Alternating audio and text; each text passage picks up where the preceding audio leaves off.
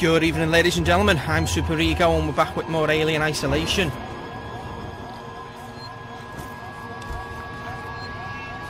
Getting far away.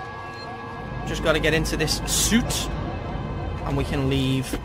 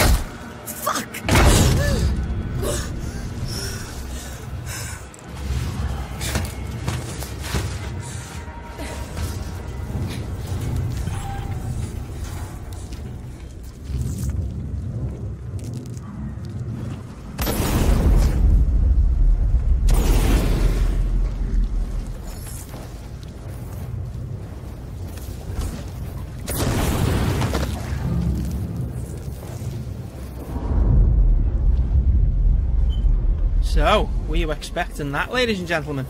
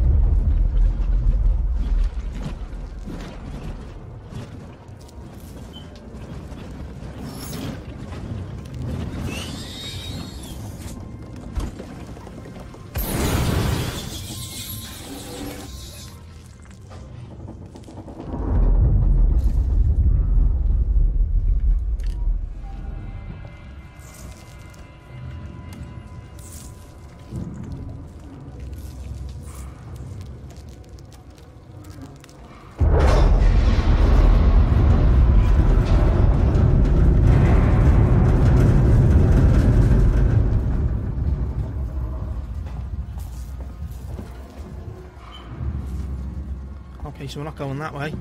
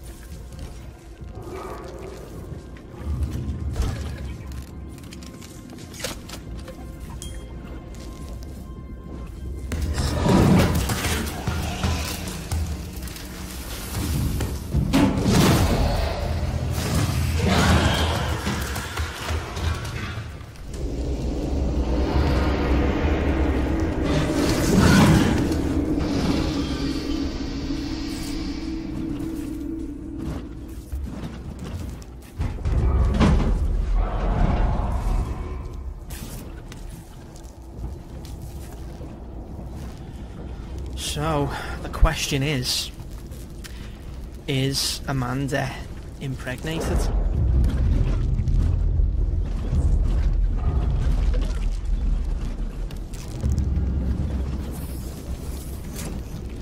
It's a very good question, it's a very important question.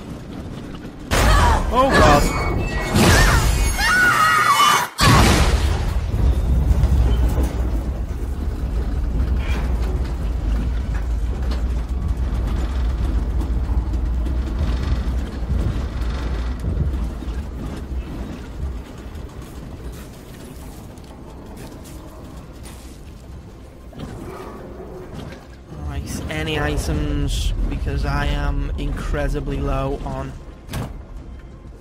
flamethrower fuel, which I didn't get. Maybe in here? Nope. Nope. Flare, revolver ammo. Flare. Is this like a bunk room? Yeah. I wonder what I was getting out then. Down the ladder we go. Excuse me.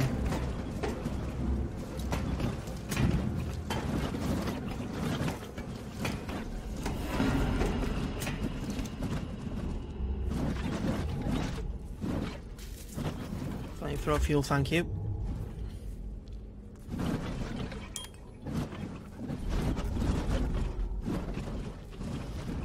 Flare, shotgun shells.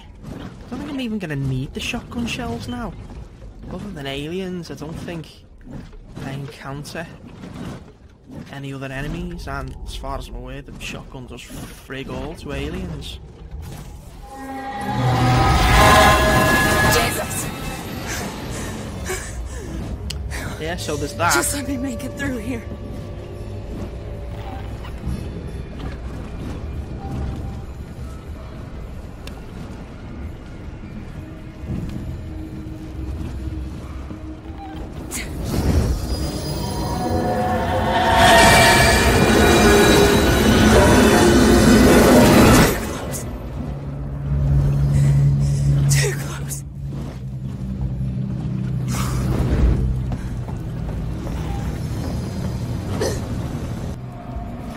Items. No.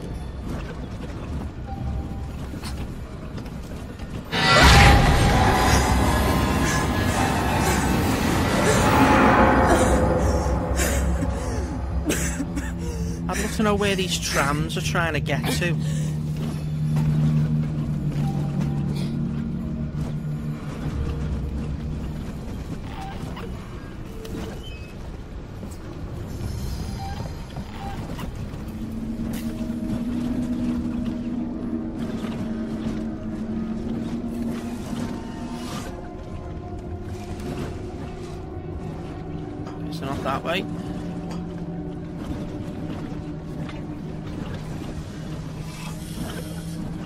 And now come to another quite horrible part of the game.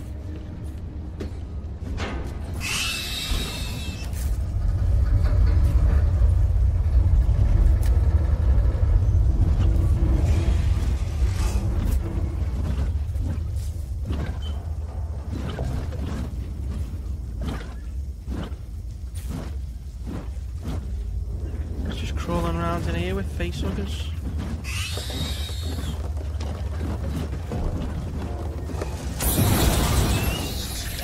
big off! Jesus Christ, that was close. Fucking hell.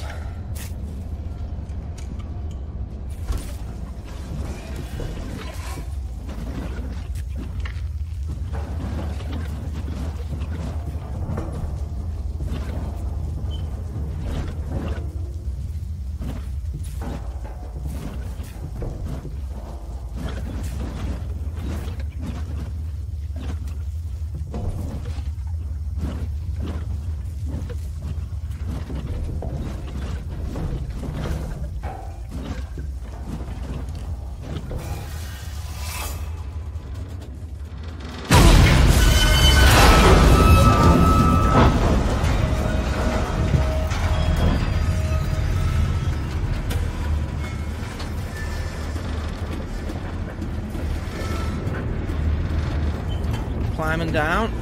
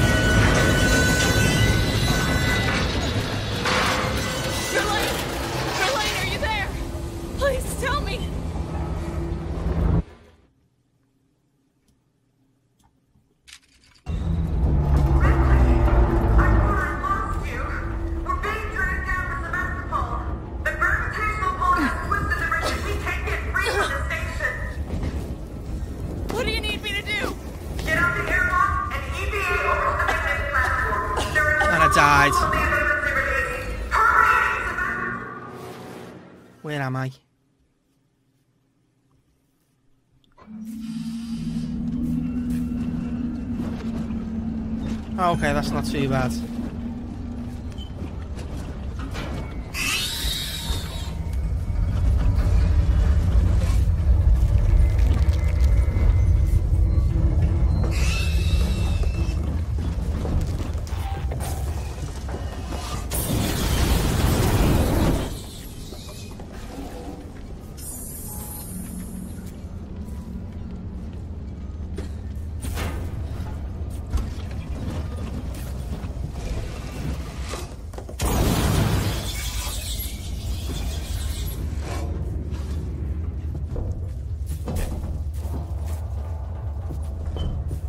did it die?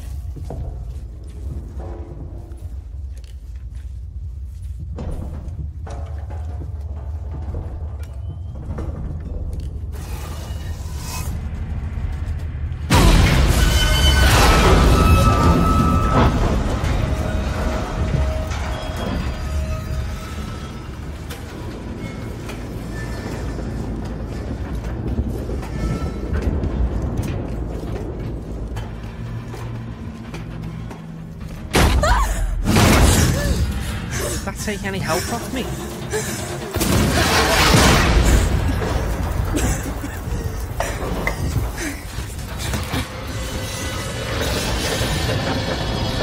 Oh yeah, it is a lot.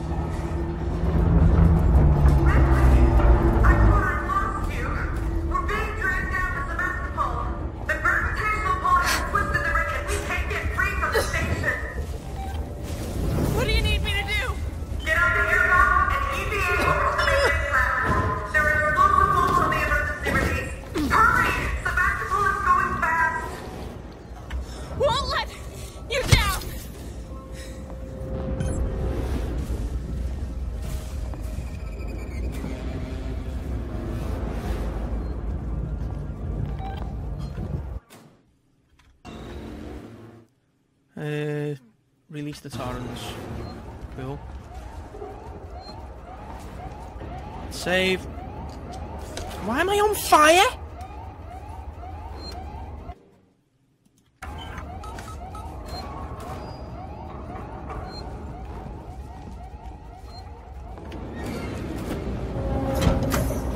On fire, health not going down.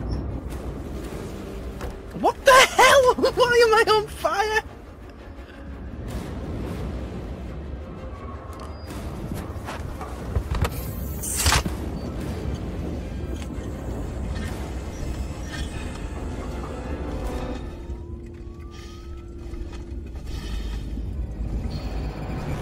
random as hell.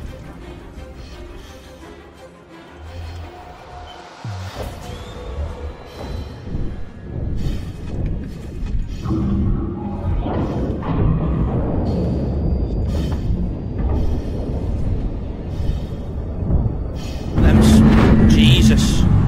Them some big engines, love.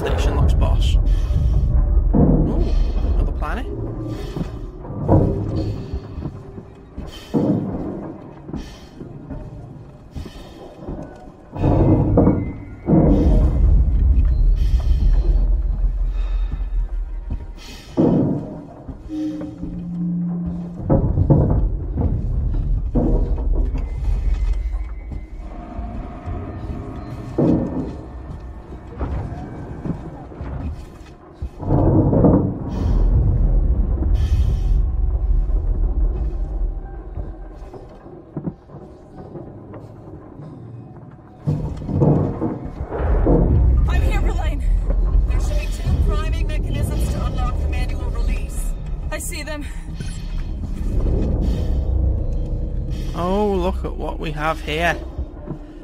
We have a guest, an alien that's on fire. In space.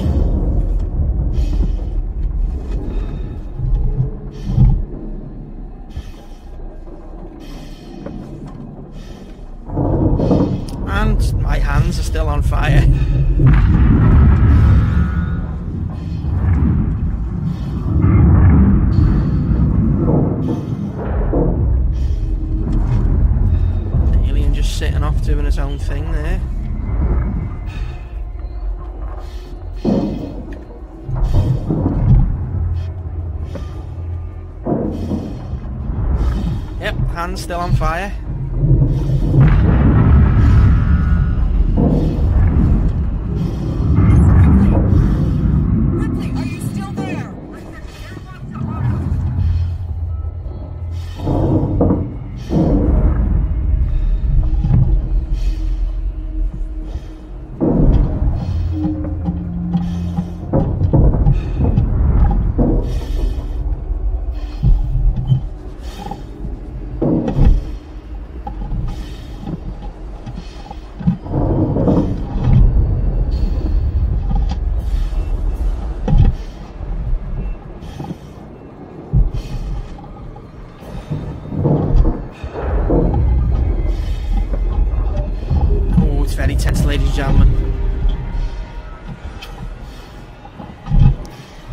Seen the original Alien movie will recognise what we're doing. This is the same device that Ellen Ripley used to basically blow up the Nostromo. It, uh, in in the movie, it's what disables the coolant um, and lets the engines overheat and blow up. It's not like a bomb. A, why would you have a bomb? It literally just turns off the coolant so the engines can't be cooled down. They get too hot and they blow up. Still on fire.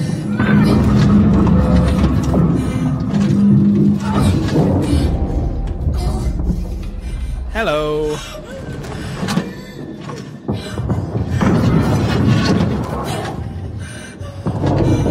Wasn't this great?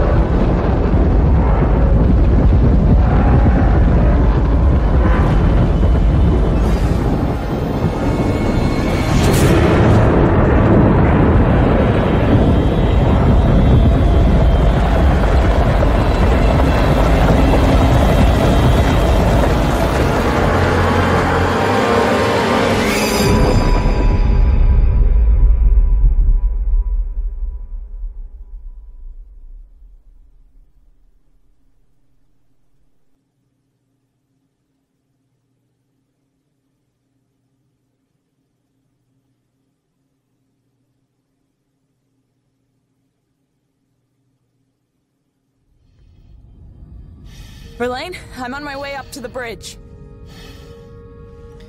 So, ladies and gentlemen,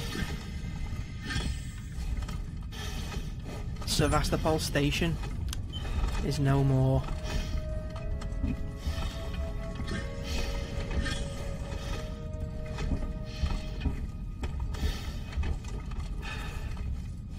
Nowhere for us to get rid of our spacesuits.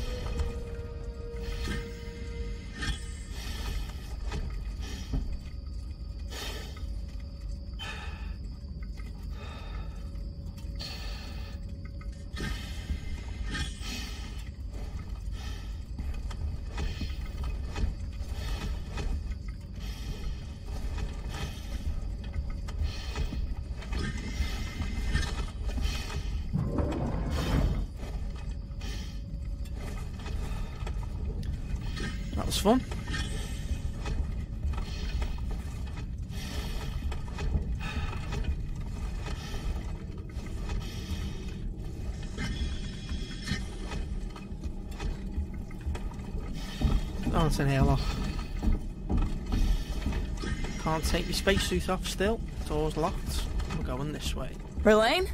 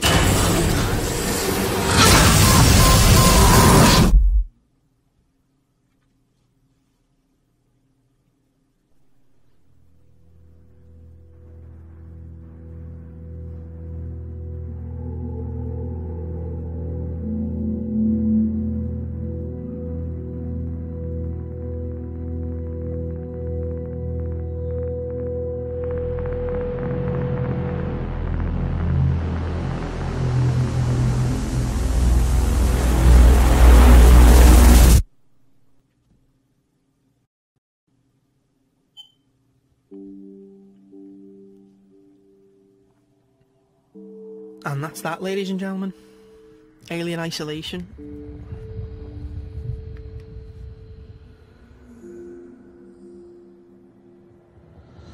This is Ripley.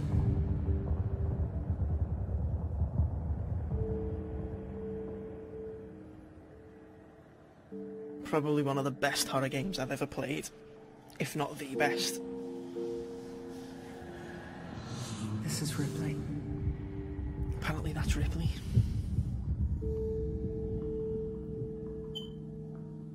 I really hope they do a sequel to this game. The unfortunate thing is, most of the team that made it um, are either no longer at Creative Assembly or the team itself has been split up and they're working in different departments, different, in some cases, different companies. So, even if we do get a sequel, it's unlikely that it'll have the same feel to it. But you never know.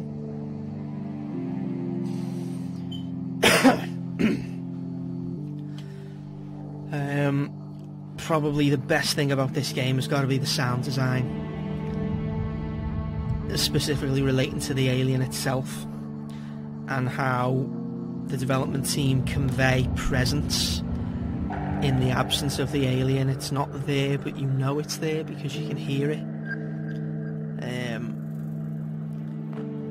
and something that's always stuck with me that I've always remembered is something that uh, Christopher Lee said on the actors' commentary for Lords of the Rings and Fellowship of the Ring, which is that often what you don't see is more suggestive um, and I think he actually uses the word erotic um, than what you do see. Um, and that's very true with the alien in Alien Isolation and of course the alien in Ridley Scott's original movie. It's a very dark game. It was a very dark movie and you only ever got fleeting glimpses of the alien. I mean, with with this game, it's it, you're getting a lot more exposure with the a lot more exposure with the alien because you you're in the environment with it, you're avoiding it, you're you're playing stealthily, and you can keep it in view while you move around the the, the environment. So you're going to see it more often. This is Ripley. But when you don't see it, you know it's there. You can hear its footsteps, you can hear its breathing, its growls, you can hear it moving in the vents, metal clanging as it's crawling through the crawl spaces. Um, Signing overall, the behaviour of the alien for me is really good. Um, the way it prowls the levels and it stalks you. Um, and then when it's actively looking for you, it, it changes its behaviour and it sounds different. Um, that's really, really effective. One thing that I would like to see in a sequel is more alien behaviour that we already know of uh, from the, the the movies themselves. Um, at the end of Alien, when Ripley gets on board the Narcissus uh, shuttle, uh, the, the lifeboat they call it at one point, the aliens lying amongst some cables and pipes, just just not moving. Ripley presses a few buttons and it lashes out at her, but it doesn't actually go for her. It's it's quite passive at that point. and then she shits herself and runs to the other side of the cabin um, and gets in a small like equipment uh, compartment, and she just stares at it. it. It doesn't move. It's just lying in that recess the other side of the shuttle, and she's just staring at it. I'd love stuff stuff like that in a sequel where you know it's there, it doesn't know you're there, it's not doing anything, it's just lying dormant, it's lying down, or it's crouched, or some something. Um, and then in in uh, Aliens and Alien Three, we have instances where the aliens are just static in the environment. In Aliens, when the Marines first go into the hive, uh, I think it's Dietrich, uh, one of the one of the female Marines, um, literally walks past an alien embedded into the wall. And then in Alien 3, when Ripley actively goes looking for the alien, um, because she she um, she knows she's infected, infected. She knows she's impregnated. She goes looking for the alien to see what it will do. And at one point, she thinks that she can see it lying in, in a dark sort of corner of the the, the sub levels in the prison. But it's not. It's actually up above amongst the pipes. Just instances like that where it's just there, not doing anything because you you might be wandering around whatever the environment may be in a sequel. Say it was another space station, you're just wandering around, and suddenly you see it, and you kind of you crouch and move out of sight, and you just for that that brief period you, you're looking at thinking, shit, did it see me? And it's not moving, so you're like, no, it, it mustn't have seen me, but maybe it's maybe it's just biding its time until you turn and walk off, and then it's going to pursue you. And other than scripted moments, um, for the most part, the alien is just walking on two feet through the environment like like a person would. There's a few scripted moments where we see them on walls, um, particularly when the um, when you're in the reactor and, and you set it to overload and it, it blows up. You see them crawling up the sides of the reactor and up against the window that you're, you're looking through. Um, other than those scripted moments, there's, there's no other instances of aliens doing wall walking or ceiling walking. And again, I think that could be used quite effectively in a sequel. Um, there could be an instance where there's no floor. Um, you're looking across effectively a chasm or a pit. And, you know, based on this game, you would think, oh, I'm safe, it's on the other side. But no, it's an alien, so it can all of a sudden jump onto the wall and start coming at you or on the ceiling. Um, or instances where it literally is just crouched, sort of crouched on the ceiling or on the wall.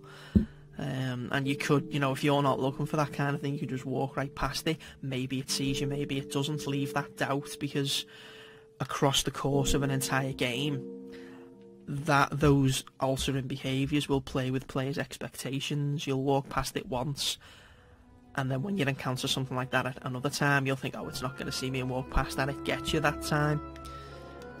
Um, I, I think that something like that would just be fantastic in a sequel. Um, and anyone who's still listening to me ramble on, ramble on may notice the music here. Uh, these are edited um, tracks from the movie. Uh, this. I'm trying to think where, where this one would be in the movie.